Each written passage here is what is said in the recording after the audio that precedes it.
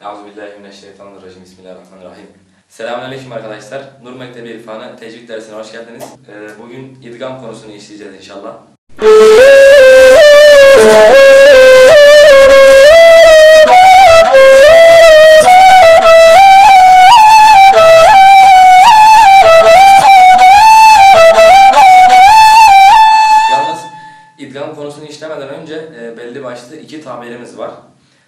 Bunlardan biri nunu sakin gördüğünüz üzere. Biri de bundan sonra e, tenvin olacak. Nunu sakin gördüğümüz gibi cezimli nun harfidir. Burada da yazıyor zaten. Cezimli nun harfidir. Cezim ne demektir? Tutmaktır. Yani nun harfinin önüne bir elif getirdiğimizde üstünne elif şöyle okunur. En diye okunur. İn diye okunur. Cezimli nun budur. Bu e, idgam için temel bir kuraldır. Nun yani nunu sakin. Sonra da tenvin geliyor. Tenvini de görelim hemen. Tenvin hemen açıklamasına bakalım. Üzerine konulduğu harfin sonunda cezimli nun varmış gibi okutur. İki üstün, iki esre, iki ötre olmak üzere üç çeşittir. Yani okunuşları şöyledir. En, in ve ün. Ne demiştik? İki temel kaide idgam için. Neydi? E, sakin nun ve tenvin. Bunları unutmuyoruz. Sakin nun ve tenvin. Çünkü idgam konusunda ne görürsek görelim tenvin veya sakin nundan sonra tabiri kullanılacak hep. Temel kayda bunlar. Şimdi idgam nedir onu öğrenelim.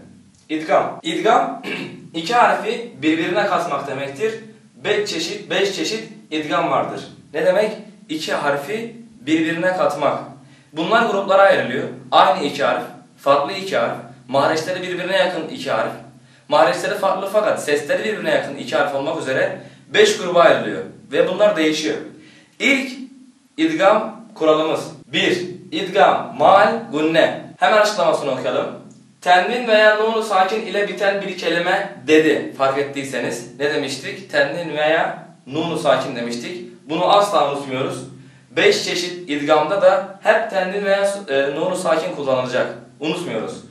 Tenvin veya nunu sakin ile biten bir kelimeden sonra ye, mim, nun, vav harflerinden biri gelirse buraya geçmeden önce e, şu harfler genellikle unutuluyor. Yani e, idgam malgun ne? Şu harfler üzerine kuruludur zaten. Bir şifreleme türü var bunu unutmamak için.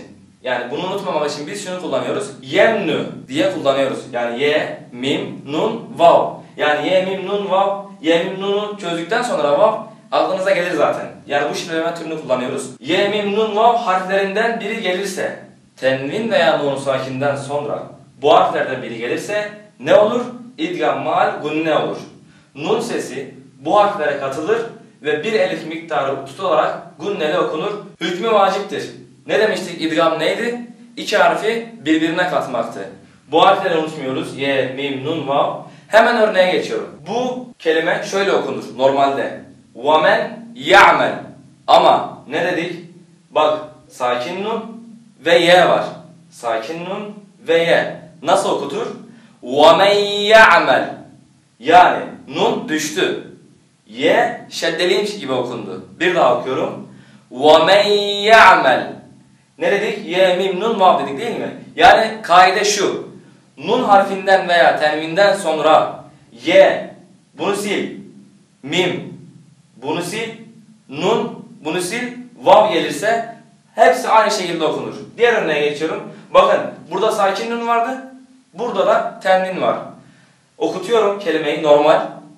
Fevlen minallah. Normalde bu. Ama ne oldu?